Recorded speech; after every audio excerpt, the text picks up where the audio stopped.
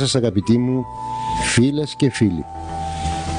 Ξεκινάει μια εκπομπή παράξενο με τον Θωμά Κάστια από τον Ερευνητικό Οργανισμό Ελλήνων. Σήμερα θα ξεκινήσουμε την σημερινή μας εκπομπή αναφερόμενη στο συμβάν που της εχμαλωσίας, της απαράδεκτης εχμαλωσίας από την πλευρά των Τούρκων στους δύο στρατιώτες δικούς μας. Αυτά τα φαινόμενα, εάν τα αφήσουμε ως ελληνική κυβέρνηση, θα συνεχιστούν και θα διονγκωθούν με μεγαλύτερες τέτοιου ενέργειες απαγωγής. Ναι, γιατί πρόκειται για απαγωγή. Φυσικά τους δίνουμε και ένα βήμα τους Τούρκους να αλωνίζουν στο Αιγαίο και να αρχίσουν να ζητάνε στο τέλος και τη Θεσσαλονίκη, την Αθήνα, ότι είναι δικά τους και ότι δεν συμφωνούν με αυτά που υπεγράφησαν στη συνθήκη της Λοζάνης. Είναι απαράδεκτα αυτά να συμβαίνουν σήμερα. Εκτός αυτού βλέπουμε τώρα με αυτή την κατάσταση που επικρατεί και πώς αντιμετωπίζεται όλη αυτή η κατάσταση σε μια ευρωπαϊκή χώρα από τους γνωστούς μας Ευρωπαίους φίλους μας, σε εισαγωγικά φίλους μας. Για να δούμε, θα δείξει η ιστορία. Ελπίζουμε και όλοι φυσικά ευχόμαστε να γυρίσουν τα δύο παιδιά, οι δύο θαραλέοι μπορώ να πω στρατιώτες που δεν έχουν υποκύψει στο φόβο μέχρι στιγμής και δεν θα υποκύψουν πιστεύω και είναι οι ήρωες, οι σημερινοί ήρωες αυτή τη στιγμή ότι θα γυρίσουν πίσω σόι και θα λήξει αυτό το συμβάν με ήπιο και καλό τρόπο και από τις δύο πλευρές. Το ευχόμαστε όλοι οι Έλληνες. Σήμερα λοιπόν στην εκπομπή μας θα αναφερθώ για τους γνωστούς αεροψεκασμούς. Αν και πολλοί γελούσαν με αυτά παλαιότερα, τώρα τα βλέπουμε καθημερινά σηκώνοντας το κεφάλι μας στον ουρανό. Φυσικά δεν ξεκίνησαν ακόμη, διότι λόγω ευτυχώς των βροχών που έχουμε, δεν έχουν ξεκινήσει αεροψεκασμοί αλλά Μάρτης είναι και όπου να είναι θα βγει ο ήλιος. Τότε θα τα βλέπουμε σε καθημερινή βάση πάνω από τα κεφάλια μας. Είναι τα γνωστά chemtrails οι αεροψεκασμοί. Έχουν ασχοληθεί επισταμένως στο παρελθόν με το θέμα των chemtrails δημοσιεύοντας στοιχεία σχετικά με το παρασκήνιο πίσω από την εφαρμογή τους και τις σοβαρότατες επιπτώσεις στην υγεία των ανθρώπων. Ωστόσο, παρά τις σχετικές δημοσιεύσεις που μεσολάβησαν από τότε και σε έντυπα του χώρου, αλλά και σε έντυπα οι οποίες γνωστοποίησαν το θέμα σε μεγαλύτερη μερίδα του κοινού, μια πληροφορία που προήρθε από αιματολογικό εργαστήριο, στάθηκε αφορμή των αεροψεκασμών να, να επανεξετάσει το θέμα καθώς φαίνεται να ανοίγεται και μια νέα διάσταση στην υπόθεση των chemtrails που κρούει με αποδείξεις πλέον τον κόδωνα του κινδύνου για την Ελλάδα. Σύμφωνα λοιπόν με αποτελέσματα εξετάσεων ρουτίνας το αίμα των Ελλήνων παρουσιάζει αυξημένες ποσότητες βαρέων μετάλλων και αλουμινίου χημικά στοιχεία τα οποία περιέρχονται και στη σύνθεση των περιβόητων αεροψεκασμών. Συμπτώματα όπως η κεφαλαλαγία, η ισχυακή κοιμική πόνη, οι ρινοραγίες, η λιθαργική τάση και η μελαγχολία ήταν τα πρώτα ανησυχητικά μηνύματα για τους κατοίκους περιοχών στις οποίες παρατηρείται συχνά το φαινόμενο των αεροψεκασμών. Τις ανησυχίες αυτές ήρθαν να επιβεβαιώσουν τα αποτελέσματα πρόσφατων αιματολογικών εξετάσεων ρουτίνας οι οποίες έδειξαν καθαρά αύξηση των επιπέδων του αλουμινίου στο αίμα των Ελλήνων γεγονός που ενισχύει τον προβληματισμό σχετικά με τους συχνούς αεροψεκασμούς η σύνθεση των οποίων περιέχει αλουμίνιο. Έχει παρατηρηθεί ότι το αλουμίνιο ανήκει στην κατηγορία εκείνη των ιχνοστοιχείων τα οποία όταν υπερβαίνουν το φυσιολογικό τους επίπεδο στο αίμα γίνονται τοξικά δημιουργώντας πολλαπλά προβλήματα στο σώμα ανθρώπων και ζώων. Γενικότερα το αλουμίνιο εμποδίζει την εκφόρτιση των ηλεκτρικών φορτίων μεταξύ των νευρικών κυτάρων με αποτέλεσμα να μειώνεται η γενικότερη δραστηριότητα των νευρικών συστημάτων ενώ λειτουργεί και ως ανασταλτικός παράγοντας στη λειτουργία δύο σημαντικών ενζήμων στον εγκέφαλο τα οποία είναι απαραίτητα σε κάθε είδος ζωής για την απελευθέρωση της ενέργειας που σηματοδοτεί χημικές αντιδράσεις στον οργανισμό κρίσιμης σημασίας για την ίδια τη φύση της ζωής. Επιπλέον το αλουμίνιο μπορεί να εμποδίσει τα νευρικά κύτταρα να προσλάβουν απαραίτητες για αυτά χημικές ουσίες όπως η ντοπαμίνη, η νοραδεναλίνη και η υδροξιτριπαμίνη. Ενώ η τοξίνωση με αλουμίνιο είναι δυνατό να οδηγήσει σε άνοια και απώλεια μνήμης. Διανοητική σύγχυση και από προσανατολισμό. Περιορίζει επίσης την εντερική δραστηριότητα. Ωστόσο, η τοξικότητα από αλουμίνιο συσχετίζεται και με άλλες πρώιμες καταστάσεις όπως ο μετεωρισμός, το φούσκωμα, η κολική η ξηροδερμία, η πόνη στα οστά, η πρόορη οστεοπόρωση, η έντονη πονοκέφαλη που ανακοφίζονται μόνο με το φαγητό, η καούρα, η αποστροφή για το κρέας, και άλλα πολλά. Τέλος, η μάστιγα, η ασθένεια του Αλτσχάιμερ, η πλευρική σκλήρινση, η ανεμία, η νεφρική και η πατική ανεπάρκεια, η πορφυρία, ένα σωρό αρρώστιες, η εμόλυση, η ασθένεια Πάρκισον, τα έλκη, ε, σχετίζονται άμεσα με τα υψηλά επίπεδα αλουμινίου στο αίμα. Έτσι, η κατακόρυφη αύξηση των ασθενειών αυτών τα τελευταία χρόνια στον δυτικό κόσμο δείχνει να σχετίζεται με την όλο και μεγαλύτερη πρόσληψη αλουμινίου από τον άνθρωπο. Στις Ηνωμένες Πολιτείες Αμερικής για παράδειγμα ήδη από το 2000 το Alzheimer έγινε ο 8ος λόγος θανάτου πλήροντας 18 ανθρώπους ανά 100.000 όταν το 1979 έπλητε μόλις δύο ανθρώπους στους ένα εκατομμύριο. Καταλαβαίνετε τη διαφορά. Επιπλέον, παρά το γεγονός ότι η μεγάλη χρήση αλουμινένιων σκευών μαγειρικής δεν ενοχοποιείται άμεσα σε εργαστηριακό επίπεδο για την αλουμινιακή τοξίνωση. Κάτι τέτοιο είναι πιθανό όταν γίνεται χρήση όξινων τροφών όπως η ντομάτα. Φαινομενικά αυτά τα στοιχεία δεν έχουν καμία σύνδεση μεταξύ τους μέχρι που ένας Καναδός, έτσι ξεκινάει η ιστορία, ένας Καναδός ακτιβιστής του διαδικτύου, ο Μπράιαν Χόλμις, αποφάσισε να ασχοληθεί με το θέμα ειδικότερα.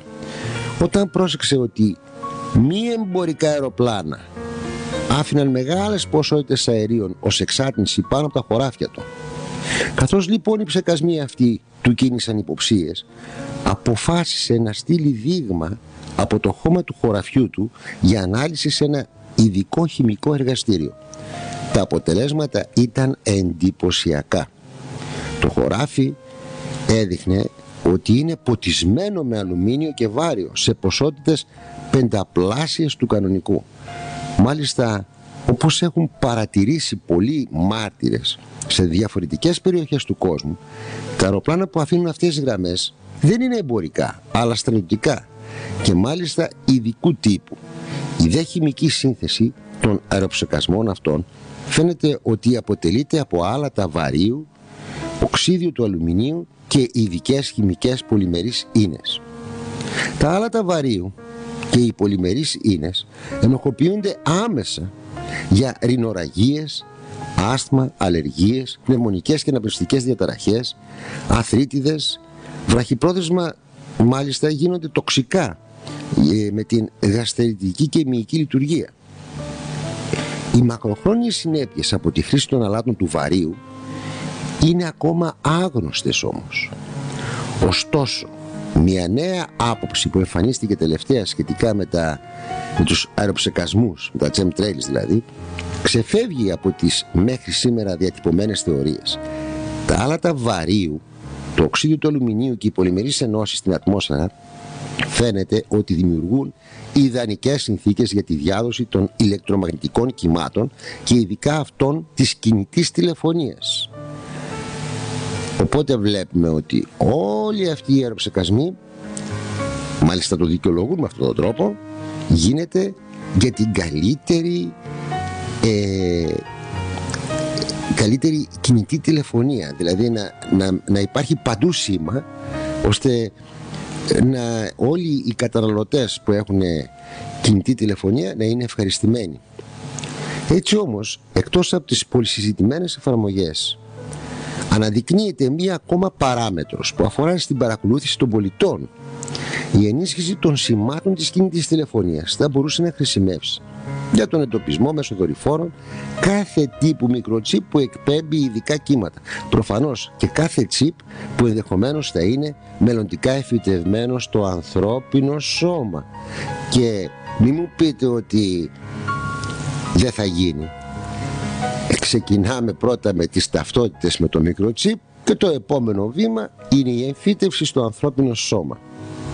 Συγκεκριμένα, το ελληνικό αιματολογικό εργαστήριο που αναφέρθηκε στην αρχή επικοινώνησε με αντίστοιχο αμερικανικό και ανέφερε το πρόβλημα των υψηλών τιμών αλουμινίου στο αίμα πολλών Ελλήνων με έκπληξη τότε οι Έλληνες επιστήμονες άκουσαν από τους Αμερικανούς συναδέλφους τους ότι θα έπρεπε ήδη να γνωρίζουν πως οι αυξημένες αυτές τιμές οφείλονται στους αεροψεκασμούς οι οποίοι γίνονται με στόχο τη διευκόλυνση και την ενίσχυση του σήματος κινητής τηλεφωνίας.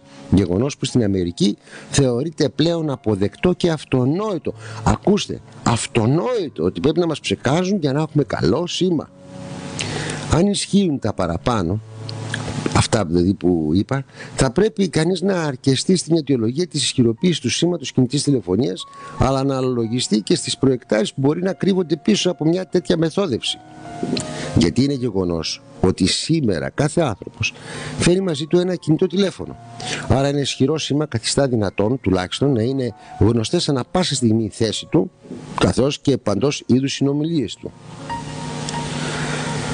Λοιπόν, κανείς ανακαλύπτει ότι το θέμα είναι πολύπλευρο καθώς δείχνει να εξυπηρετεί πολλούς και διαφορετικούς αλλά κρίσιμους για τις νέα τάξη πραγμάτων τομείς όπως ο έλεγχος του καιρού το σύστημα χάρ το οποίο πάλι θέλουμε διευκόλυνση του σήματος ο έλεγχος της συνείδησης ο βιολογικός πόλεμος αλλά και η παρακολούθηση των πολιτών. Αυτό είναι το βασικότερο, η παρακολούθηση των πολιτών.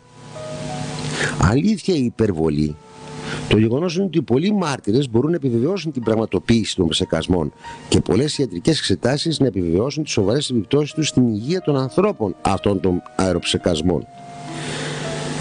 Κοιτάξτε τώρα, μόλις βγάλει ήλιο και σταματήσουν οι βροχοπτώσεις κοιτάξτε λίγο πάνω στον ουρανό το τι θα γίνεται. Θα γίνεται ένα δίχτυ από αεροψεκασμούς. Σχηματίζουν ένα δίκτυο και όλα αυτά τα αεροσκάφη είναι στρατιωτικά και δεν έχουν κανένα πάνω τους διακριτικό. Είναι κάποια λευκά αεροσκάφη. Πρέπει να είναι νατοϊκά αεροσκάφη. Αλλά προσέξτε το αυτό. Σηκώστε λίγο το κεφάλι στον ουρανό. Είμαι σίγουρος ότι θα τα δείτε. Τώρα και μία νέα είδηση η οποία δείχνει δηλαδή πως θέλουν τόσο πολύ δηλαδή με την κινητή τηλεφωνία να μας ελέγχουν ας πούμε. είναι ότι μια είδηση που έσκασε προχθές ότι το 2019 λέει η Σελήνη θα αποκτήσει το πρώτο της 4G δίκτυο η Σελήνη θα έχει λέει 4G κάλυψη το επόμενο έτος 50 χρόνια μετά την πρώτη αποστολή των αστυναυτών της ΝΑΣΑ που περπάτησε στην επιφάνειά της.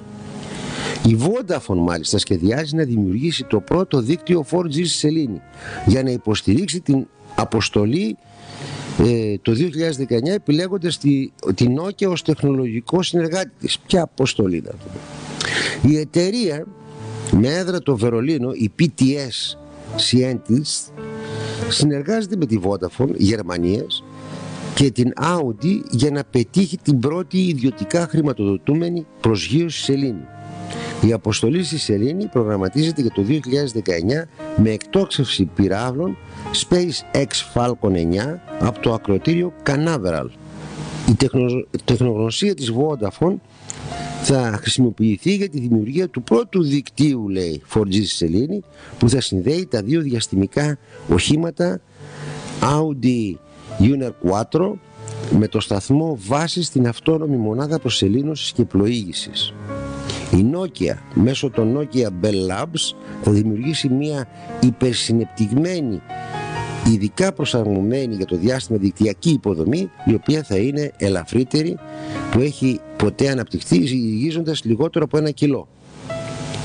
Το δίκτυο λέει 4G θα δώσει τη δυνατότητα στα δύο διαστημικά οχήματα Audi Inq 4 να επικοινωνούν μεταξύ τους και να μεταφέρουν επιστημονικά δεδομένα και βίντεο υψηλής ευκρίνειας ενώ θα προσεγγίζουν προσεκτικά το σεληνιακό όχημα Apollo 17 της NASA που χρησιμοποιήθηκε από τους τελευταίους αστροναύτες που περπάτησαν στην επιφάνεια της Ελλήνης. Κοιτάξτε τώρα τι γίνεται.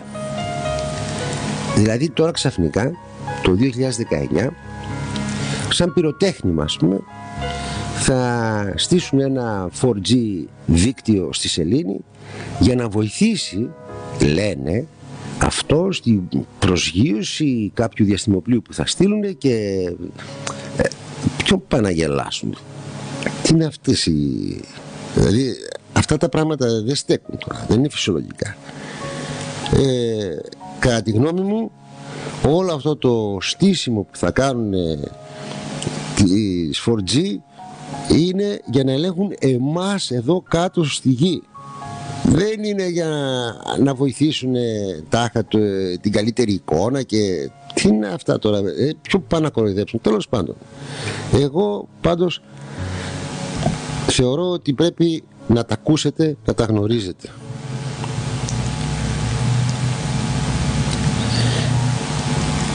Ας πάμε τώρα σε ένα άλλο θέμα. Στα προϊόντα της λεγόμενης Μοσάντο. Η Μοσάντο όπως γνωρίζετε είναι μια πολυεθνική εταιρεία με έδρα το Ισραήλ και χρησιμοποιεί εδώ και στο πάρα πολύ καιρό χρησιμοποιεί τη ζαχαρίνη στην μαζική παραγωγή, λαγοριασμό της κοακόλας κτλ. κτλ. Δηλαδή ε, βγάζει λιπάσματα, είναι, σχετίζεται με τη διατροφή του πλανήτη με λίγα λόγια. Ας μιλήσουμε για τη ζαχαρίνη. Αρχικά η ουσία είχε επενεθεί χάρη στην ιδιότητα της να προσφέρει γλυκιά γεύση χωρίς θερμίδες. Ωστόσο τη δεκαετία του 70 μια επιστημονική έρευνα αποκάλυψε ότι η ζαχαρίνη προκάλεσε καρκίνο σε ποντίκια τα οποία τα είχαν χρησιμοποιήσει σαν πειραματόζωα. Για λίγο καιρό η ουσία μπήκε στη λίστα των καρκινογόνων ουσιών. Μετά από έντονες πιέσεις η έρευνα χαρακτηρίστηκε εσφαλμένη και αποσύρθηκε με αποτέλεσμα η ζαχαρίνη να βγει από τη μαύρη λίστα να μπει ξανά στην παραγωγή. Σήμερα χρησιμοποιείται ευρέως σε ποτά, γλυκά, μπισκότα και οδοντόκρεμες ζαχαρίνη ε; άλλο. Το PCBS τα πολυχλωριωμένα διφενήλια και τριφενήλια είναι ελαιώδεις συνθετικές χημικές ουσίες που είχαν χρησιμοποιηθεί ευρύτατα στο παρελθόν λόγω των μοναδικών φυσικοχημικών τους ιδιωτήτων ως διηλεκτρικά υγρά σε μετασχηματιστές και πυκνοτές σε συστήματα μεταφοράς θερμότητας ως πρόσθετα υδραυλικών ελαίων ως επιβραδυτικά φλόγας και σε άλλες εφαρμογές τα οποία είναι τοξικές ενώσεις οι οποίες είναι επιβλαβείς για τον άνθρωπο όσο για το υπέδαφος, τη χλωρίδα και την πανίδα. Παρασκευάζονταν από το 1929 έως το 1979, ώσπου και απαγορεύτηκαν. Τα PCB έχουν συνδεθεί με την πρόκληση καρκίνου καθώς και με μια σειρά από αρνητικές επιπτώσεις στην υγεία του ανθρώπινου ανοσοποιητικού, αναπαραγωγικού, νευρικού και ενδοκρινικού συστήματος. Ενώ έχουν απαγορευτεί από το 1979, μία μελέτη του 2011 αποκάλυψε ότι ακόμα εμφανίζονται στο αίμα εγγύων. Τα PCB χρησιμοποιούνται για την κατασκευή ειδών ευρείας κατανάλωσης όπως στα καλώδια, τα πλαστικά, στις κόλλες, στα χρώματα. Καταλάβατε. Το πολυστηρένιο, το πολυφενιλεθένιο δηλαδή είναι. Είναι ένας αρωματικός υδρογονάθρακας. Χρησιμοποιείται για την παραγωγή υλικών με μονοτική χρήση αλλά και για ελαφρά περίπλοκα σχήματα που χρησιμοποιούνται ως υλικά συσκευασίες και φόρμες για χύτευση μετάλλων. Η παραγωγή πολυστερίνης ξεκίνησε από την Μοσάντο το 1941. Γιατί είναι κακό θα μου πείτε; Γιατί πρόκειται για μία βιοδιασπόμενο υλικό που επιβαρύνει σε πάρα πολύ μεγάλο βαθμό το περιβάλλον. Η χρόνια έκθεση στο υλικό έχει συνδεθεί με συμπτώματα όπως κατάθλιψη, πονοκέφαλη, αδυναμία και κούραση. Χρησιμοποιείται σχεδόν παντού, αλλά συχνότερα στις συσκευασίες τροφίμων. Είναι το γνωστό φελιζόλ. Καταλάβατε; Το πολυστηρένιο. Έχει σταθεροποιήσει τη θέση του στην παγκόσμια αγορά καθώς θεωρείται πιο ανθεκτικό σε σχέση με τις χάρτινες ή πλαστικές συσκευασίες τις οποίες όμως μπορούμε να, να ανακυκλώσουμε. Κοιτάξτε τώρα. Τα ποτηράκια φελιζόλ το καλοκαίρι, καφεδάκι, φελιζόλ. Καταλάβατε τι πίνουμε; Και όλα αυτά με την ανοχή όλων των κυβερνήσεων. Πώς, αφού η Μωσά το βγάζει, μπορούμε να πούμε εμείς κάτι; Ενδιαφέρον ρόλο έπαιξε η Μοσάντο και στο θέμα των πυρηνικών όπλων. Η εταιρεία ανέπτυξε ένα τμήμα που έπαιξε καθοριστικό ρόλο στο Manhattan Project από το 1943 έως το 1945. Το Manhattan, το Manhattan Project ήταν υπεύθυνο για την παραγωγή των πρώτων ατομικών βομβών για το δεύτερο παγκόσμιο πόλεμο. Τώρα ας θυμηθούν λίγο οι παλιοί. Το DDT, το γνωστό, DDT ήταν ένα ευρέως χρησιμοποιούμενο φυτοφάρμακο με στόχο την καταπολέμηση των κουνουπιών για την μη εξάπλωση ελονοσίας. Η Μοσάντο υπήρξε ένας από τους πρώτους κατασκευαστές του εντομοκτώνου αυτού. Παλαιότερα είχαν ψεκάσει σχεδόν όλη την Ελλάδα, όλα τα έλλη με το DDT. Θα μου πείτε, ήταν για τη δουλειά του ήταν πολύ καλό. Αλλά μαζί με τα κουνούπια και τα έντομα όμως σκοτώνει και τους ανθρώπους. Για ακούστε, απαγορεύτηκε το 1972 γιατί συνδέθηκε με την καταστροφή του ύπατος, τη μειωμένη αναπαραγωγική ικανότητα και με προσωρινές βλάβες στο νευρικό σύστημα. Δυστυχώς, η διάσπαση του DDT μπορεί να ξεπεράσει και τα 15 χρόνια και γι' αυτό ακόμα εμφανίζονται ίχνη σε εδάφη. Ο άνθρωπος μπορεί να εκτεθεί στο DDT μέσα από την κατανάλωση μολυσμένων ψαριών καλλιεργειών είτε και μέσω του αέρα. Η διοξίνη. Οι διοξίνες θεωρούνται από τα πιο τοξικά χημικά. Η Μοσάντο από το 1945 άρχισε να προωθεί τη χρήση των χημικών φυτοφαρμάκων στη γεωργία. Το μεγαλύτερο κακό που προκαλούν οι διοξίνες είναι κυρίως η ικανότητά τους να συσσωρεύονται στην τροφική αλυσίδα. Σχετική έρευνα έδειξε ότι οι διοξίνες μπορούν να προκαλέσουν καρκίνο στον άνθρωπο. Ακριβώς αυτή η συσσόρευση φέρνει τις διοξίνες στο πιάτο μας. Εντοπίζονται κυρίως στο κρέας και στα γαλακτοκομικά προϊόντα. Το Agent Orange ένα ζυζανιοκτόνιο που χρησιμοποιήθηκε για χημικό πόλεμο στο Βιετνάμ. η Μοσάντο έτυχε να είναι ένας από τους δύο μεγάλους κατασκευαστές του φωνικού αυτού όπλου. Το Agent Orange θεωρήθηκε υπεύθυνο για πάνω από 400.000 θανάτους και 500.000 γενετικές ανομαλίες ενώ ένα εκατομμύριο άνθρωποι υποφέρουν από προβλήματα υγείας που προκλήθηκαν από αυτό. Οι επιπτώσεις του Agent Orange στο Βιετνάμ εξακολουθούν να είναι αισθητές. Η πρώτη επίσημη προσπάθεια καθαρισμού άρχισε μόλις το 2012. Ορισμένες χημικές ουσίες του Agent Orange μπορεί ακόμα να βρεθούν σε ορισμένα ζυζανιοκτόνια που χρησιμοποιούνται και σήμερα. Λιπάσματα με βάση το πετρέλαιο.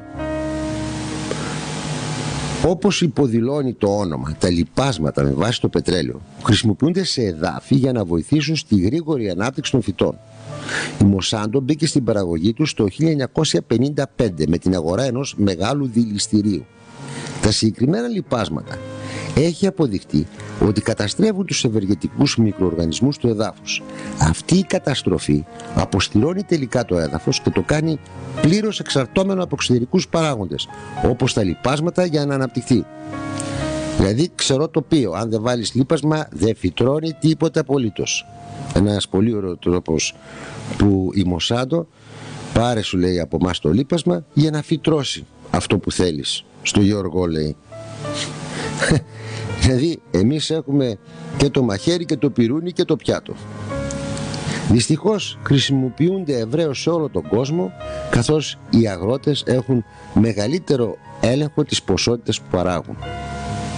Μάλιστα, πολύ ωραία. Το Roundup που είναι το πιο ευρέως χρησιμοποιούμενο ζυζανοκτόνιο σε όλο τον κόσμο. Το 1970 η Μοσάντο έφτιαξε το τμήμα γεωργικών χημικών με το Roundup να είναι βραβευμένο και νούμερο ένα ζυζανοκτόνιο της. Η ουσία glyphosate που εμπεριέχει το ζυζανοκτόνιο έχει συνδεθεί με τον καρκίνο σε αρκετές μελέτες.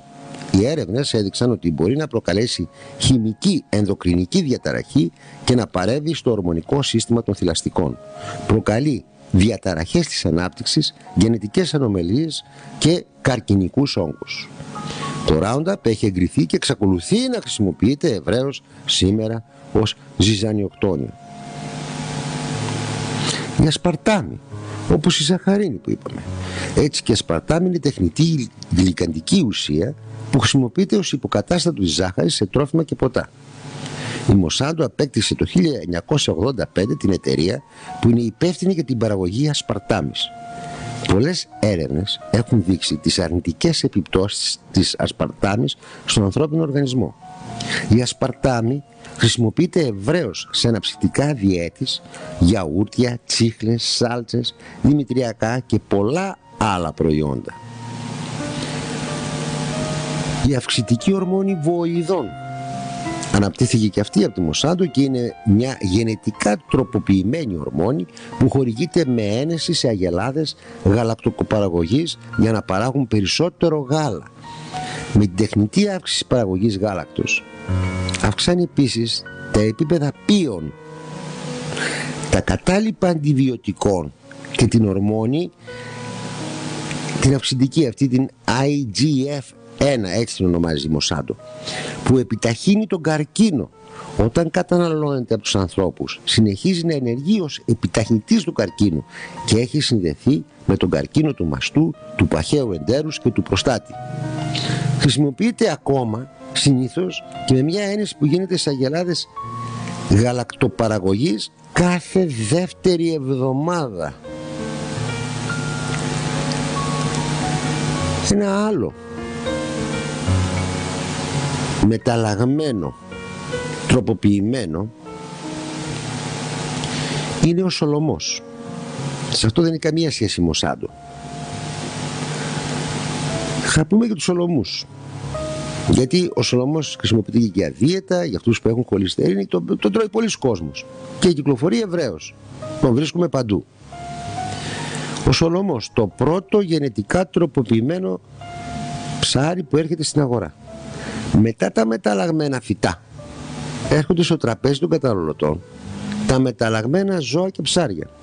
Το πρώτο από αυτά παγκοσμίως είναι ο Σολομός του Ατλαντικού, ο οποίος μόλις πήρε τη σχετική άδεια από την αρμόδια εποπτική αρχή των Ηνωμένων Πολιτειών Αμερικής, την υπηρεσία των τροφίμων και φαρμάκων, η FDA.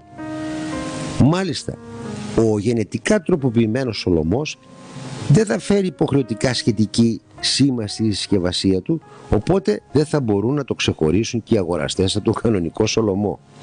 Η FDA έδωσε την έγκριση στο πρώτο γενετικά τροποποιημένο ζώο για ανθρώπινη κατανάλωση με το σκεπτικό ότι είναι ασφαλές για να το φάνε οι καταναλωτές ενώ θεωρεί περιττή την υποχρεωτική σήμανση επειδή ο μεταλλαγμένος ολομός έχει ίδια θρεπτική αξία με το φυσικό.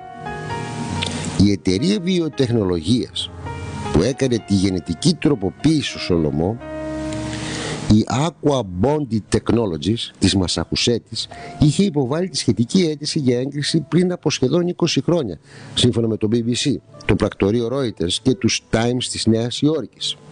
Παρά την άδεια, οι περιβαλλοντολογικές οργανώσεις και άλλοι αντίπαλοι των μεταλλαγμένων επιμένουν πως οι καταναλωτές δεν θα έχουν όρεξη να φάνε μεταλλαγμένα ψάρια τα οποία επιπλέον όπως φοβούνται μπορεί να αποτελούν κίνδυνο για άλλα ψάρια αν δραπετεύσουν στις ανοιχτές θάλασσες.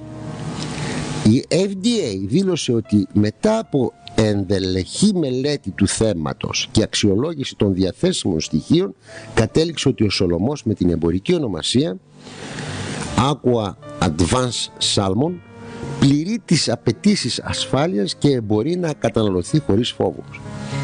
Όμως, ίσως για καλό και για κακό, η αρχή όρισε ότι η εκτροφή του μεταλλαγμένου Σολομού θα γίνεται σε δεξαμενές στην ξηρά και όχι σε θαλάσσιες ηθιοκαλλιέργειες και μάλιστα όχι στις Ηνωμένες Πολιτείες Αμερικής αλλά σε μόνο δύο εγκαταστάσεις σε γειτονικές χώρες στον Καναδά και στον Παναμά.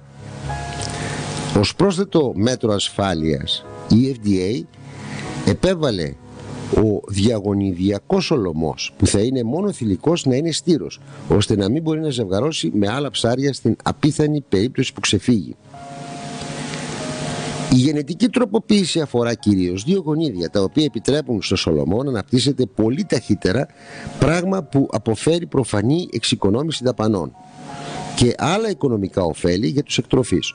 Ο Σολομός φτάνει σε πλήρη ανάπτυξη 18 μήνες αντί σε 3 έτη.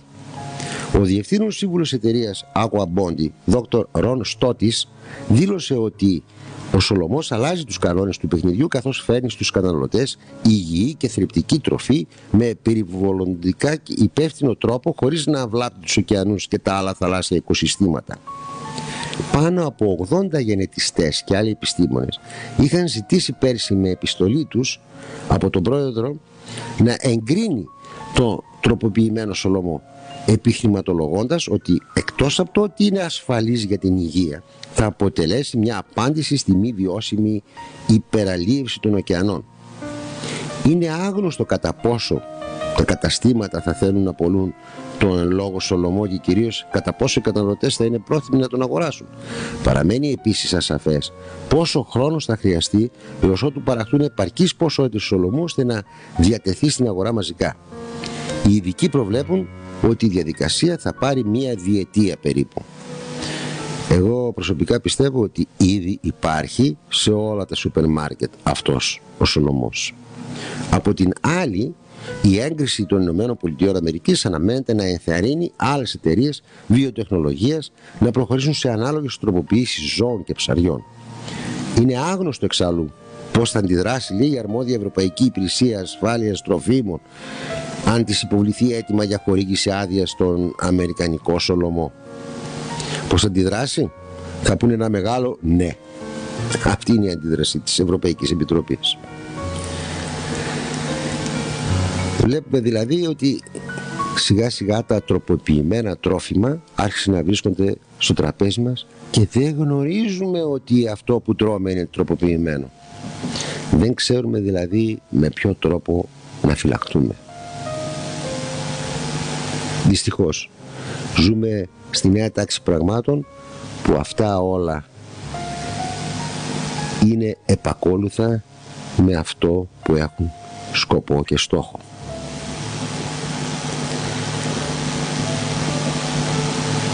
ένας Αμερικάνος ακαδημαϊκός και στοχαστής αλλάζουμε τώρα θέμα. Ο στοχαστής Νόαμ Τσόμσκι ανέλησε 10 τεχνικές δηλαδή πως γίνεται η χειραγώγηση της κοινής γνώμης. Και μάλιστα ο ίδιος λέει ότι σας νίκησαν λέει τους ανθρώπους και θα σας νικάνε πάντα. Λοιπόν έδωσε μια συνέντευξη ο κύριος Τσόμσκι αυτός είναι κορυφαίος διανοητής και διαπιστώνει διεισδυτικές παρατηρήσεις για τους θεσμούς που διαμορφώνουν τη σκέψη του κοινού και οι οποίοι βρίσκονται στην υπηρεσία της ισχύως και του κέρδους. Πρωταρχικό στοιχείο του κοινωνικού ελέγχου μας λέει η τεχνική της διασκέδασης και συνιστάται στην στροφή της προσοχής του κοινού από τα σημαντικά προβλήματα και από τις μεταλλαγές που αποφασίστηκαν από τις πολιτικές και οικονομικές ελίτ με ένα αδιάκοπο καταιγισμό διασκεδαστικών και ασήμαντων λεπτομεριών. Η τεχνική της διασκέδασης είναι επίσης απαραίτητη για να αποτραπεί το κοινό από το να ενδιαφερθεί για ουσιαστικές πληροφορίες στους τομείς της επιστήμης, της οικονομίας, της ψυχολογίας, της νευρολογίας και της κυβερνητικής. Αναφέρει μάλιστα και μας λέει ότι κρατήστε από προσανατολισμένη την προσοχή του κοινού μακριά από τα αληθινά κοινωνικά προβλήματα εχμαλωτισμένοι σε θέματα χωρίς καμιά πραγματική σημασία. Κρατήστε το κοινό απασχολημένο απασχολημένο απασχολημένο ναι, χωρίς χρόνο για να σκέφτεται να επιστρέφει κανονικά στη φάρμα με τα άλλα ζώα. Η τεχνητή της δημιουργίας των προβλημάτων και στη συνέχεια παροχή των λύσεων αυτών. Αυτή η τεχνική ονομάζεται επίσης πρόβλημα, αντίδραση, λύση. Πρώτα δημιουργείται ένα πρόβλημα. Μια έκτακτη κατάσταση για την οποία μπορείτε να προβλέψετε ότι θα προκαλέσει μια συγκεκριμένη αντίδραση του κοινού ώστε το ίδιο να ζητήσει εκείνα τα μέτρα που εύχεστε να το κάνετε να αποδεχτεί. Για παράδειγμα, αφήστε λέει να κλιμακωθεί η αστική βία ή οργανώστε αιματηρές συμπλοκές ώστε το κοινό να ζητήσει τη λήψη μέτρων ασφαλείας που θα περιορίζουν τις ελευθερίες του. Ή ακόμη, δημιουργήστε μια οικονομική κρίση για να κάνετε το κοινό να δεχτεί ως αναγκαίο κακό τον περιορισμό των κοινωνικών δικαιωμάτων του και την αποδόμηση των δημοσίων υπηρεσιών. Τεχνική λέει της υποβάθμισης. Για να κάνει κάποιος αποδεκτό ένα απαράδεκτο μέτρο αρκεί να εφαρμόσει σταδιακά καταφθήνουσα κλίμακα για μια διάρκεια 10 ετών. Με αυτόν τον τρόπο επιβλήθηκαν ριζικά νέες κοινωνικο-οικονομικές συνθήκες είναι ο γνωστός νεοφιλελευθερισμός στις δεκαετίες του 80 και του 90. Μαζική ανεργία, αβεβαιότητα, ευελιξία, μετακινήσεις, μισθοί που δεν διασφαλίζουν πια ένα αξιοπρεπές εισόδημα, τόσες αλλαγές που θα είχαν προκαλέσει επανάσταση αν είχαν εφαρμοστεί ευνηδίως και βία. Όμως δεν γίνονται ευνηδίως και βία, γίνονται σιγά σιγά ώστε και εσύ σαν άτομο να πιστεύεις ότι αυτό είναι το μέλλον μου, δεν μπορώ να αντιδράσω, έτσι είναι η ζωή, τι να κάνω. Πολύ ωραίο τρόπο. Μας μιλάει για την στρατηγική της αναβολής, η γνωστή σαλαμοποίηση. Ένας άλλος τρόπος για να γίνει αποδεκτή μια αντιλαϊκή απόφαση είναι να την παρουσιάζεται ως οδυνηρή αλλά αναγκαία αποσπώντας τη συνένεση του κοινού στο παρόν για την εφαρμογή της στο μέλλον. Είναι πάντοτε πιο εύκολο να αποδεχτεί κάποιος αντί μιας άμεσης θυσίας μια μελλοντική. Πρώτα απ' όλα επειδή η προσπάθεια δεν πρέπει να καταβληθεί άμεσα. Στη συνέχεια επειδή το κοινό έχει πάντα την τάση να ελπίζει αφελώς ότι όλα θα πάνε καλύτερα αύριο και ότι μπορεί εν τέλει να αποφύγει τη θυσία που του ζήτησαν. Τέλος, μια τέτοια τεχνική αφήνει στο κοινό ένα κάποιο χρονικό διάστημα ώστε να συνηθίσει την ιδέα της αλλαγής και να την αποδεχτεί μυρολατρικά όταν κριθεί ότι έφτασε το πλήρωμα του χρόνου για την τέλεσή της.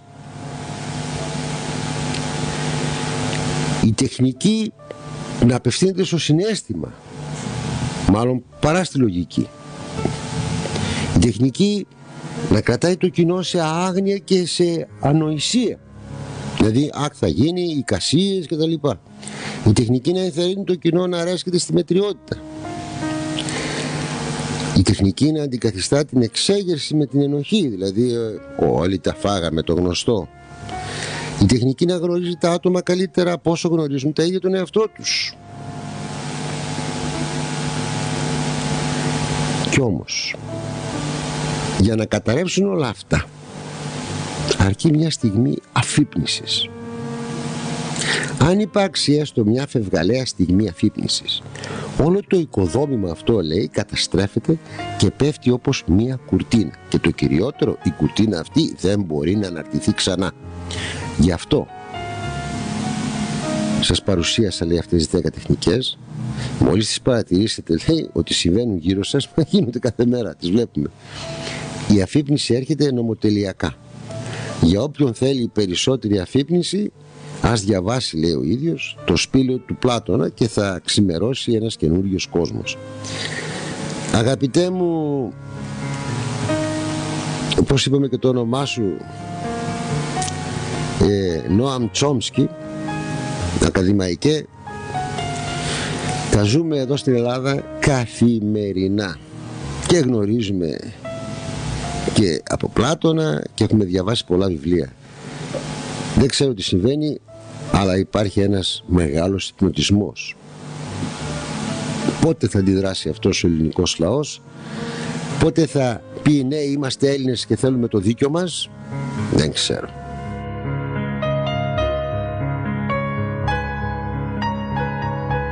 Δεν ξεχνάμε ότι ακούμε τον, από τον ερευνητικό οργανισμό Ελλήνων την εκπομπή Παράξενο με τον Θωμά Κάστια. Αλλάζουμε θέμα και πάμε σε ένα θέμα το οποίο όλοι πολύ λίγο το χρησιμοποιείτε σπίτι σας είναι τα περίφημα Windows 10. Το γνωρίζετε ότι η Microsoft σας παρακολουθεί με την άδειά σας; Από το Inside Program της Microsoft μπορεί να έχετε όλες τις τελευταίες preview εκδόσεις του Windows αμέσως μόλις είναι διαθέσιμες και να τις τοποθετήσετε στους ηλεκτρονικούς υπολογιστές σας είτε είναι φορητή είτε είναι ακίνητη. Σαν αντάλλαγμα θέλουμε να γνωρίζουμε τι σκέπτεστε.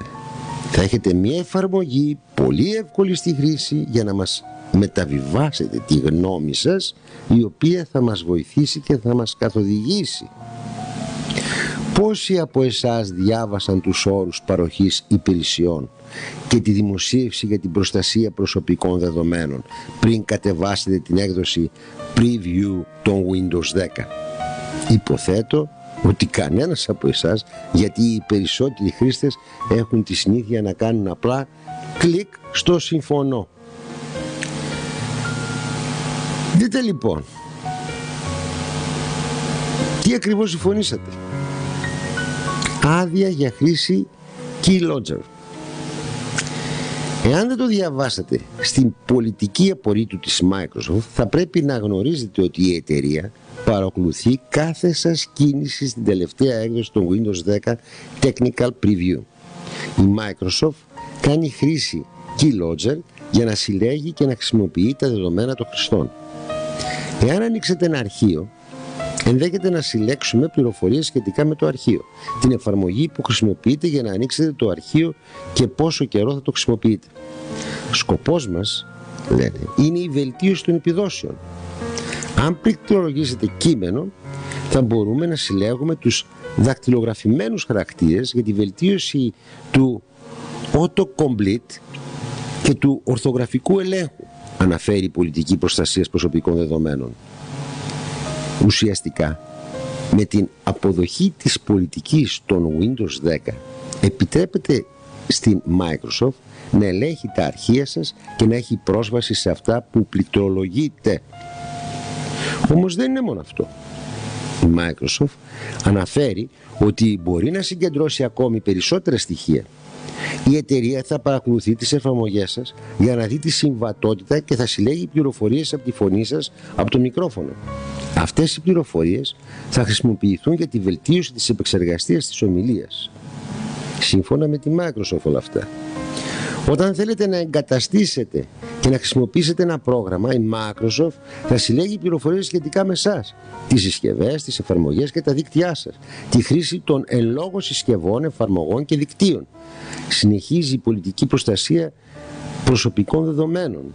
Θα συλλέγουμε το όνομά σας, τη διεύθυνση ηλεκτρονικού σας ταχυδρομείου, τις προτιμήσεις περιήγησής σας, το ιστορικό αναζητήσεων, τα δεδομένα κλήσεων και SMS, τη διαμόρφωση της συσκευής, τα δεδομένα του αισθητήρα, αλλά και τη χρήση της εφαρμογής. Διαβάστε λοιπόν τους όρους χρήσης του νέου λειτουργικού σας, τον Windows 10. Αυτά όλα θα τα βρείτε εκεί γραμμένα, λίγοι τα διαβάζουν. Βρήκα και αυτό το ενδιαφέρον βίντεο το οποίο το είδα αλλά καθώς δεν έχω PC ανήκω στο άλλο γκρουπ των θυμάτων παρακολούθησης Apple και δεν μπορώ να ελέγξω την εγκυρότητά του να το αφήνω στην κρίση σας. Κάθε ευρώ που δίνουμε στη Microsoft κάνει ακόμα πιο πλούσιο τον Bill Gates, μόνο αυτό να σκέφτεστε. Και πλουσιότερο άντρα στον κόσμο, τον φιλάνθρωπο, που αγαπάει τόσο πολύ το ανθρώπινο γένος που θέλει να το μειώσει σε αριθμό. Για το καλό μας. Όλα αυτά για το καλό μας. Καταλάβατε τώρα τι γίνεται με τη Microsoft. Πάμε σε άλλο θέμα. Οι Γερμανοί επιστήμονες στην ναζιστική Γερμανία κατήχαν τη γνώση της αρχαίας Ελλάδας. Ανενέρμπε, που στα γερμανικά μεταφράζεται κληρονομιά. Οι Γερμανοί επιστήμονες είχαν ανακαλύψει αυτά που είναι άγνωστα ακόμη και σήμερα και τα αποκαλούν θεωρίες. Και αυτοί μιλάνε ως ειδικοί και λένε συνέχεια για την επιστημονική κοινότητα και επιστημονικά στοιχεία, τα οποία ελέγχουν οι ίδιοι, οι σημερινοί δηλαδή, επιστήμονες. Μιλάνε όλοι για αρχαίους φιλοσόφους και διαβάζουν τόμους βιβλίων χωρίς να πάρουν τίποτα από αυτά, ούτε να καταλάβουν. Τα περισσότερα είναι λογοκριμένα. Το γνωρίζετε; και περιέχουν μια σημαντική πληροφορία κάθε 20 σελίδες. Αυτό που θέλει να πει σε μια παράγραφο το λέει σε 5 σελίδες. Εις γνώσεις του, η άθελά του. Ένα καλό κόλπο να δεις αν κάποιος ακολουθεί αυτή τη γραμμή είναι να δεις τι λένε οι Γερμανοί; Παλαιότερα τι γράφανε. Τα οποία έχουν ξαφανιστεί τα βιβλία τους. Δεν είμαι υπέρ των των ναζιστών αλλά υπέρ της αλήθειας. Το δεν υπάρχει αλήθεια και από όποια πλευρά κι αν είναι πρέπει να τη λέμε. Και πράγματι λένε ε, ότι το, είναι το γνωστό ύφος ότι ε, εξαφάνισαν τα βιβλία των εθνικοσοσιαλιστών της Γερμανίας εξαφάνισαν τα πάντα και από το ίδιο εξής. Θα διαβάζετε μόνο τα δικά μας αυτά εδώ που βγαίνουν ας πούμε. Τα έγκυρα. Αυτό δεν είναι αλήθεια. Αυτό είναι σκοταδισμός. Ο άνθρωπος να διαβάζει από όλες τις πλευρές τα βιβλία για να μπορεί να καταλήξει εκεί που πραγματικά υπάρχει αλήθεια. Καταρχήν οι αρχαίοι φιλόσοφοι. Δεν ήταν φιλόσοφοι, μας λένε οι Γερμανοί, με την έννοια που νομίζουν. Απλά είχαν τη γνώση που την έσβησαν με τα χρόνια όλοι αυτοί οι διαστρεβλωτές των πάντων και κήρυκες του ψεύδους. Το πιο τραγικό, τέτοια άτομα γράφουν και τα σχολικά βιβλία ώσπου μετά από σχεδόν 2.000 χρόνια όλοι αυτοί οι κήρυκες του ψεύδους και σκοταδιστές ξυλώθηκαν από παντού και έγινε πραγματική έρευνα για όλα αυτά που έχουν αποκρύψει και που αποκαλούν μύθους και θεωρίες συνωμοσίας όπως τις δυνατότητες του ανθρώπινου σώματος, της βιολογίας, της επιστήμης, της τεχνολογίας κλπ. κλπ. Η θεωρία της κύλης γης αυτό μας το αναφέρουν οι Γερμανοί προτείνει ότι ο πλανήτης Γη είναι είτε εξ ολοκλήρου κύλος ή περιέχει ένα σημαντικό ποσοστό καινού εσωτερικού χώρου. Αυτό δεν είναι μια νέα θεωρία. Η ύπαρξη του έχει προταθεί σε όλη την ανθρώπινη ιστορία. Οι βουδιστές πίστευαν ότι το εσωτερικό της γης δημιουργήθηκε από μια φυλή ανθρώπων τους οποίους ονόμαζαν υπερανθρώπους. Φέρεται ότι ανέβαιναν στην επιφάνεια μέσω τούνελ που οδηγούσαν στο εσωτερικό της γης για να επιβλέπουν τι συνέβαινε στην επιφάνεια. Οι βουδιστές είχαν προφανώς ιερείς, τους Λάμα δηλαδή, για να φρουρούν τις εισόδους στην εσωτερική γη στο Θιβέτ. Ένα έγγραφο που ήρθε στο φως είναι μια ρωσική έκθεση σχετικά με μια αποστολή του 1925 στη Λάσα στο Θιβέτ. Συνετάχθη το 1939 και υπογράφεται από τον Ντεκανοζόν Ζοβ Μερικά από τα θέματα που αναφέρεται μέσα περιλαμβάνουν αρχαία όπλα, υπόγειες πόλεις στο Θιβέτ και την Ανταρκτική, πολικές μετατοπίσεις, λευκή σκόνη χρυσού και για τις εφαρμογές της και την επεξεργασία της για την παράταση της ζωής και την κατασκευή μεγαλυθικών κατασκευών. Αξίζει να πούμε το εξής, ότι το έγγραφο αναφέρεται επίσης σε αρχαίους πολιτισμούς και τον αναπόφευκτο θάνατό τους ως αποτέλεσμα μιας κυκλικής εισβολής ενός άλλου πλανήτη στο ηλιακό μας σύστημα κάθε 3.600 χρόνια, η οποία προκαλεί τσουνάμι σε ύψος βουνού. Τέλος, το υπόμνημα είναι πολύτιμο από την άποψη ότι ρίχνει λίγο φως στο γιατί το ναζιστικό Ινστιτούτο Άλερμπερ ενδιαφερόταν τόσο πολύ για το Θιβέτ και γιατί η γνώση του Θιβέτ περί αρχαίων τεχνολογιών ενδιαφέρει και την Σιωβητική Ένωση. Παρήχε επίσης κάποιες λεπτομέρειες σχετικά με αρχαίους πολιτισμούς και τους λόγους πίσω από την καταστροφή τους. Ειδικότερα συζητήθηκε ένα ισχυρό αρχαίο όπλο που ονομάζεται Βάρτζα το οποίο επίσης χρησιμοποιείται ως εργαλείο για τις μεγαλυθικές κατασκευές. Το εν λόγω έγγραφο ονομάστηκε έκθεση Blaikkumin καθώς περιγράφει λεπτομερώς τα στοιχεία που παρουσιάστηκαν από τον επικεφαλής της αποστολής Γιάκοβ Μπλάουκμιν. Ωστόσο, αυτό έγινε με βάση τα ευρήματα περισσότερο του Μπλάουκμιν παρά τον Μπλάουκμιν τον ίδιο. Ο Μπλάουκμιν εκτελέστηκε το 1929 υποτίθεται για την αποκάλυψη των πληροφοριών που είχε συγκεντρώσει το Θιβέτ στους Γερμανούς. Κατά συνέπεια οι Γερμανοί πήραν το προβάδισμα στο να αποκτήσουν πρόσβαση σε αρχαία γνώση του Θιβέτ. Ο Σάλεβελ, ο οποίος ταξίδεψε στη Γερμανία το 1938 για τη συλλογή πληροφοριών σχετικά με το θέμα, έγραψε μία έκθεση σχετικά με τα επτά του στις 10 Ιανουαρίου του 1939. Ανέφερε ότι οι Γερμανοί σε αντίθεση με τις Σοβιετικές αρχές είχαν λάβει την έκθεση Μπλάουκμιν πολύ σοβαρά και η δική τους εκστρατεία στο Θιβέτ παρήγαγε ένα πλούτο γνώσεων που εφαρμόστηκαν άμεσα στον τομέα της επιστήμης, της βιομηχανίας και πάνω απ' όλα στη στρατιωτική ανάπτυξη. Πράγματι, οι Γερμανοί είχαν προχωρήσει γρήγορα στην πυρηνική φυσική για να αναπτύξουν ένα όπλο ικανό να καταστρέψει ολόκληρες πόλεις σε δευτερόλεπτα. Επίσης, επιστημονικές γνώσεις σχετικά με τη δομή του πλανήτη μας, τις αρχές του ηλεκτρομαγνητισμού, την Hollow Earth, δηλαδή την κύλη γη, με ένα εσωτερικό ήλιο για τα οποία οι Γερμανοί εικάζονται ότι έμαθαν στο Θιβέτ. Επιπλέον, ο ίδιος μιλά για τις γερμανικές αποστολές στην Queen Mount Land, δηλαδή στη γη της βασίλισσας Mount, στην Ανταρκτική και την εγκατάστασή τους σε μια βάση στην περιοχή του Saubeland. Προφανώς για να αποκτήσουν πρόσβαση στην Αγκάρτα όλα αυτά γίνανε. Αναφέρεται επίσης οι συνθήκες της πνευματικής γνώσης που είναι απαραίτητες για την είσοδο στο εσωτερικό της γης. Τέλος, η έκθεση ασχολείται με άλλα θέματα που απασχόλησαν την ναζιστική Γερμανία εκείνη τη χρονική περίοδο όπως η φιλετική υγεία, η καταγωγή της άριας φυλής, οι φιλετικές διαφορές, την ικανότητα να χρησιμοποιούν την ανθρώπινη οσμή για να εντοπίσουν τα αντίστοιχα ανθρώπινα όντα από μία απόσταση. Αυτό είναι πολύ ενδιαφέρον χρησιμοποιούσαν την ανθρώπινη οσμή για να εντοπίσουν τα αντίστοιχα ανθρώπινα όντα από μία απόσταση. Περίεργα πράγματα. Οι Γερμανοί εμπειρογνώμονες είχαν προχωρήσει στον τομέα της μελέτης των κρυμμένων δυνατοτήτων του ανθρώπινου σώματος καθώς και στον χώρο της λεγόμενης φιλετικής υγιεινής που είχαν και οι αρχαίες Σπαρτιάτες της βιολογίας και της φιλετικής μηχανικής. Σύμφωνα με τον Γκούτερ, στο Θιβέτ οι Γερμανοί επιστήμονες και ερευνητές ήταν σε θέση να πάρουν απαντήσεις στην πλειοψηφία των ερωτήσεών στους τομείς της έρευνάς τους που που σχετίζονταν με την προέλευση της Άριας Φυλής και την ιστορία του σύμπαντος. Απέκτησαν πληροφορίες άμεσα εφαρμόσιμες στη βιομηχανία και την επιστήμη και στην κατασκευή αεροσκαφών του Ράιχ. Το θέμα αφορά μια προηγουμένης άγνωσης τεχνολογίας των αρχαίων πολιτισμών οι οποίες το 2000 π.Χ. για παράδειγμα στις κατασκευές χρησιμοποιούσαν τεχνολογία να τέμνουν τους βράχους και να τους μεταφέρουν στον αέρα σε μεγάλες αποστάσεις.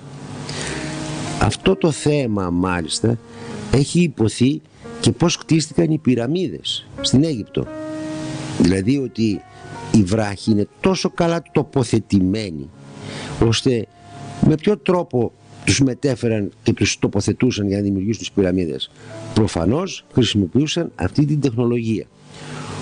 Ο Γκούντερ είπε ότι καταρχήν η σύγχρονη επιστήμη δεν έχει επαρκή αντίληψη για τη δομή της γης. Η διαθέσιμη γνώση είναι αντιφατική και ανεπαρκής, δεδομένου ότι σύμφωνα με τους Γερμανούς επιστήμονες και ερευνητές, η γη είναι κούφια στο εσωτερικό.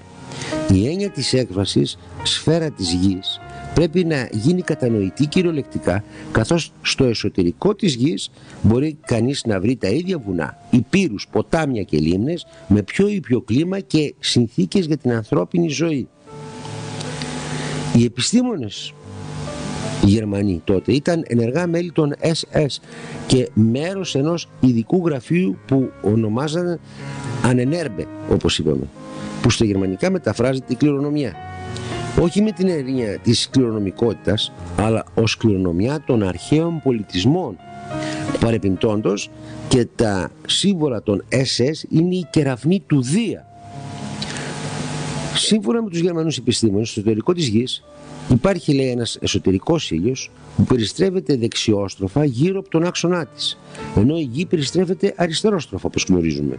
Το αποτέλεσμα είναι κάτι παρόμοιο με ένα ρότορα και στάτη που περιστρέφονται αντίθετα σε σχέση το ένα με το άλλο για να παράγουν ηλεκτρομαγνητικά πεδία τόσο εσωτερικά όσο και εξωτερικά.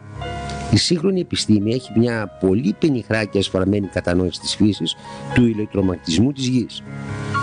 Ο Ιστάιν λένε ότι δίθεν είχε ανακαλύψει ένα κλεμμένο λόγο της θέσης που είχε. Δημιούργησε ένα μοντέλο αυθαίρετου τεχνητού σύμπαντος το οποίο ερχόταν σε αντίθεση με το φυσικό της διάθεσης του σύμπαν της γερμανικής φυσικής. Στη Γερμανία του 1933 ο Γερμανός Λέοναρτ έγραψε στο πιο σημαντικό παράδειγμα της επικίνδυνης επιρροής για τη μελέτη της φύσης είναι ο Αϊνστάιν η θεωρία της σχετικότητας του Einstein είναι είχε επίσημα απαγορευτεί τότε. Δηλαδή, γι' αυτό είπα, όπως είπα και στην αρχή, ότι πρέπει να ερευνούμε τα πάντα. Δηλαδή, λέμε ότι ήταν σφαγείς, ήταν οι ναζιστές, ήταν ανθρωπόμορφα κτίνη, όπως το ονομάζουν. Αλλά είχαν βγάλει πάρα πολλά βιβλία. Είχαν εξυγχρονίσει πάρα πολύ την επιστήμη εκεί την εποχή. Αυτά γιατί δεν κυκλοφορούν ευρέως στο κοινό, δηλαδή οι αντιλήψεις τους, και ψάχνουμε το σταγονόμετρο να βρούμε κάποιο βιβλίο, αν που ήταν κρυμμένο και πού και πού για να μπορέσουμε να διαβάσουμε κάτι. Δεν είναι σωστά πράγματα αυτά. Πρέπει να διαβάζουμε τα πάντα για να μπορούμε να έχουμε γνώσεις από παντού, να διαμορφώσουμε τη δικιά μας γνώση. Αλλάζουμε θέμα και πάμε στο τελευταίο μας θέμα της εκπομπής. Παράξενο. Φραγκεστάιν Η σκοτεινή αλήθεια πίσω από το μύθο Τον Ιανουάριο του 1818 εκδόθηκε στην Αγγλία ένα βιβλίο με το τίτλο Φραγκεστάιν ή ο σύγχρονος Προμηθέας δίχως το όνομα του συγγραφέα το οποίο περιέγραφε τα πειράματα ενός νεαρού επιστήμονα στην προσπάθεια να δώσει ζωή σε ένα νεκρό. Ένα γοτθικό μυθιστόρημα που προκάλεσε μεγάλη εντύπωση στο αναγνωστικό κοινό και πρόσφερε κύματα τρόμου και φρίκης.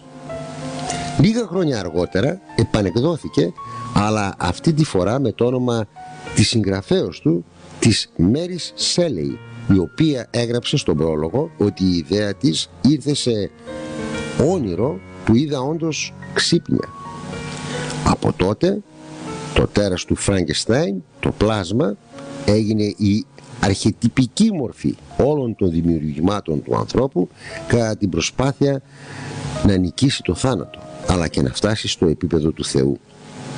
Η ίδια η Σέλεη έγραψε για το έργο της. Η εφευρετικότητα δεν σημαίνει να δημιουργείς από το κενό αλλά από το χάος. Δηλαδή να υπάρχουν τα υλικά σκοτεινά και άμορφα και να μπορείς να τους δώσεις μορφή. Ήδη μια δεκαετία πριν την συγγραφή του βιβλίου είχαν γίνει γνωστά τα πειράματα του Λουίτζι Γκαλβάνι ο οποίος με τη βοήθεια του ηλεκτρισμού κινούσε τα μέλη νεκρών βατράχων. Από την εποχή που δημοσίευσε τα αποτελέσματα των πειραμάτων του, μία φρενίτιδα κατέκλυσε την Ευρώπη με ανθρώπους που κινούσαν τα νεκρά μέλη διάφορων ζώων.